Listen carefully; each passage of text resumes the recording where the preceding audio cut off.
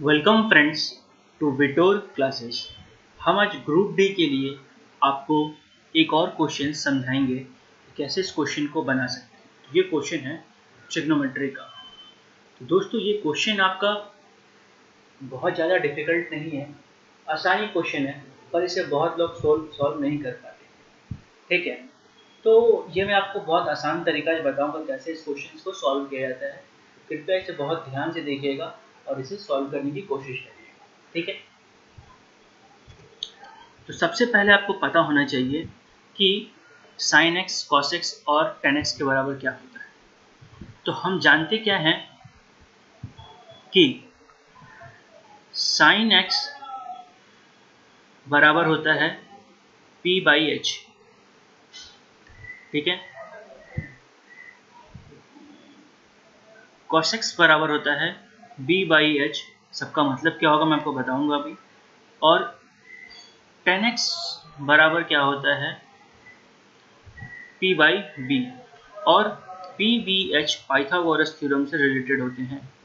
P square plus B square is equal to H square ठीक है? अब P जो होता है, इसे हम लोग कहते हैं परपेंडिकुलर या लंब कह लीजिए कुछ भी। हाइपोटेन्यूज हो गया, ये बेस हो गया। ठीक है? तो जब आपको ये दिया रहे तो इसका मतलब हमें क्या दिया हुआ? एट टेन एक्स बराबर पंद्रह।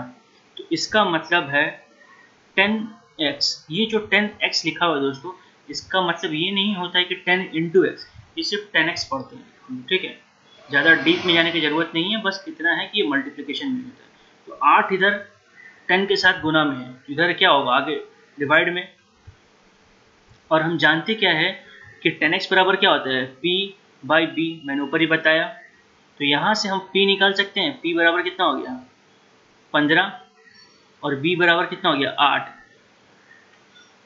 अब हमें ये पता चल गया, हमें निकालना है क्या है? एच हमें साइन एक्स और कॉस एक्स निकालना है। तो इसके लिए हमें पता होना चाहिए कि एच क्या है, ठीक है? तो एच का फॉर्मूला क्या था? H square is equal to P square plus B square तो पी हमारा कितना है? पंद्रह का स्क्वायर और ये हो गया हमारा आठ का स्क्वायर ठीक है? तो ये कितना हो जाएगा हमारा? 225 और ये हो गया हमारा चौंसठ। इसको अगर हम जोड़ेंगे तो कितना आएगा? नौ आठ दो। तो h बराबर क्या हो गया? h हम लोग निकालेंगे रूट ऑफ़ 289 और 219 किसका रूट है? सत्रह का, है ना? सत्रह गुने सत्रह, दो सौ दो सौ नवासी होता है। दो सौ उन्नीस दो सौ नवासी, ठीक है? तो h निकल गया हमारा P पता है, B पता है। तो साइन एक्स का वैल्यू क्या हो जाएगा? हम लोग क्या जानते हैं? P बाई एच तो P हमारा कितना है? पंद्रह। और H कितना है? सत्रह। Cos x B by H होगा तो आठ बाई सत्रह। अब यहाँ से आप अगर लसा निकालिएगा तो कितना आएगा? सत्रह।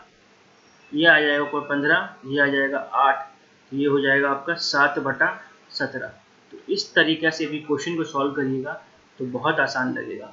अगर आप कोशिश करिएगा कि हम फॉर्मूला में बिठाएँ साइनिक्स को कुछ और करें, इसको कुछ और करें तो ये बहुत लंबा हो सकता है। शायद अगर सही बात में फॉर्मूला ना बैठा तो बहुत लंबा जा सकता है।